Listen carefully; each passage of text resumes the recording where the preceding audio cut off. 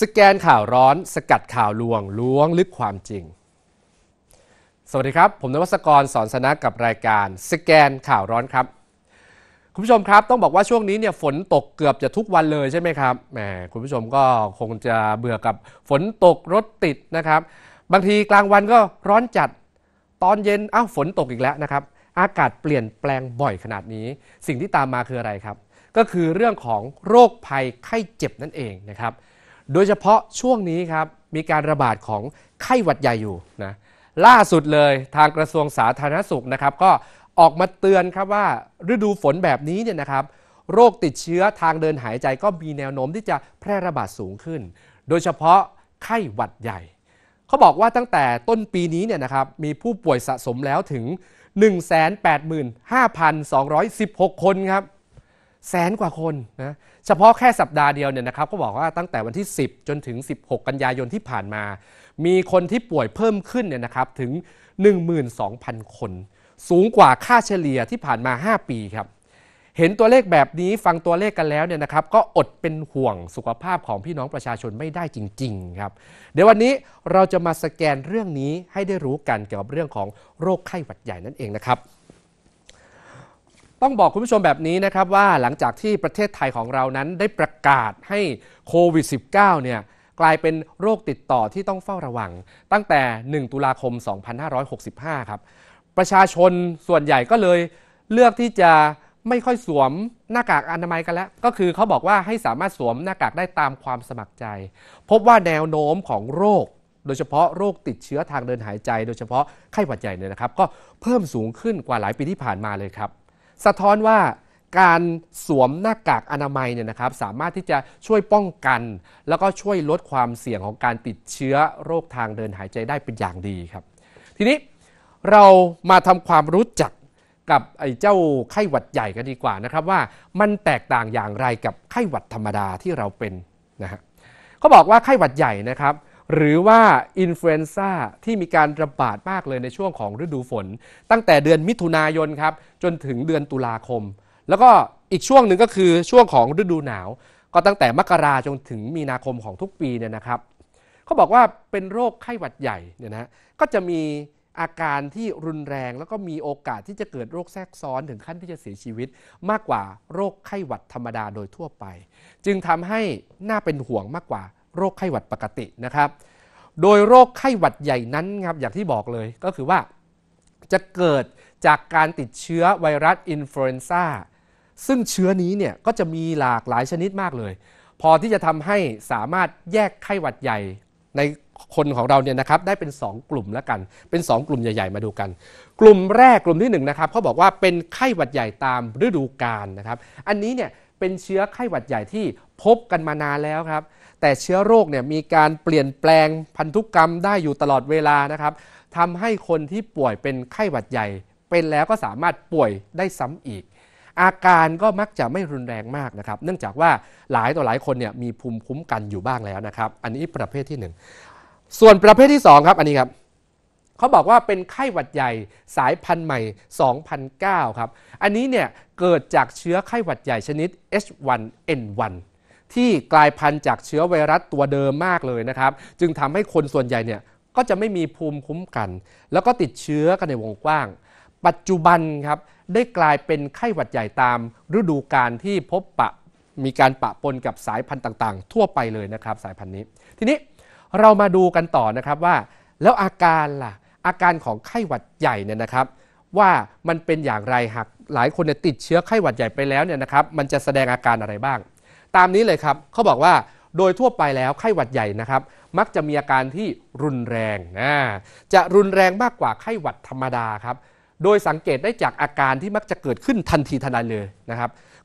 ป่วยปุ๊บก็เกิดอาการปับ๊บจะต่างจากไข้หวัดธรรมดานะครับ ที่มักจะมีอาการแบบค่อยเป็นค่อยไปนะครับ และที่สำคัญเลยก็คือว่าไข้หวัดใหญ่เนี่ยมักจะมีไข้สูงติดกันหลายวันเลยนะครับ โดยเฉพาะในเด็กก็จะมีไข้สูง เขาเรียกว่าไข้สูงลอยเลย เกินกว่า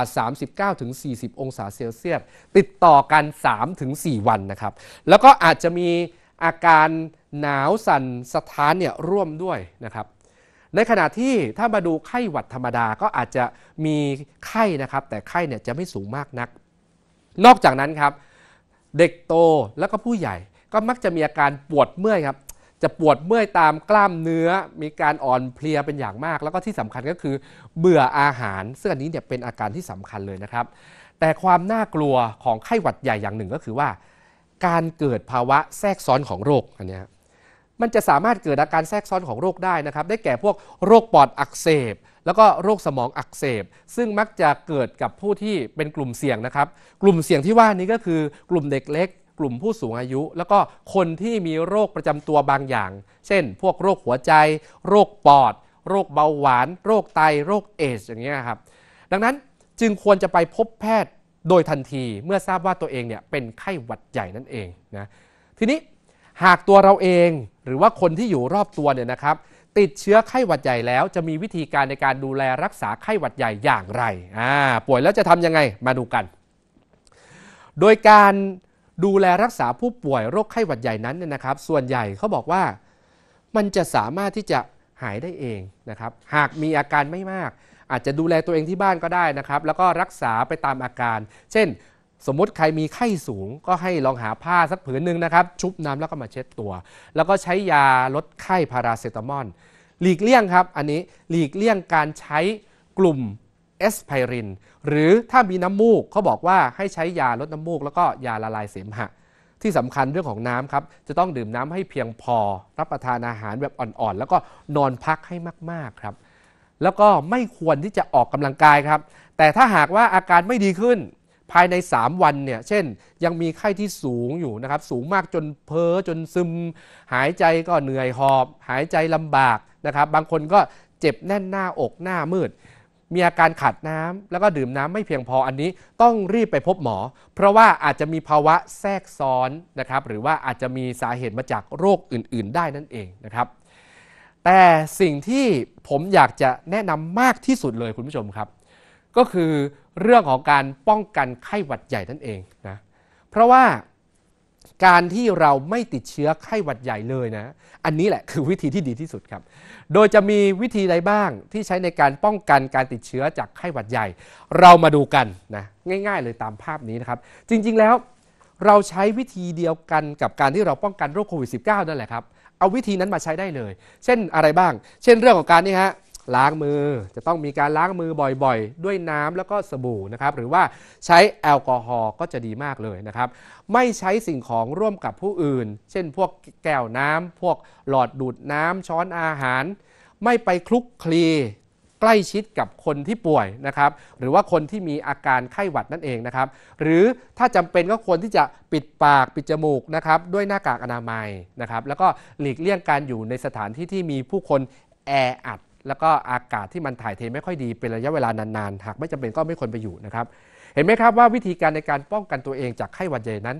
ไม่ต่างอะไรเลยนะครับจากการที่เราป้องกันโควิด -19 นั่นเองนะครับ และที่สำคัญเลยคืออีกหนึ่งเรื่องคือเรื่องนี้ครับ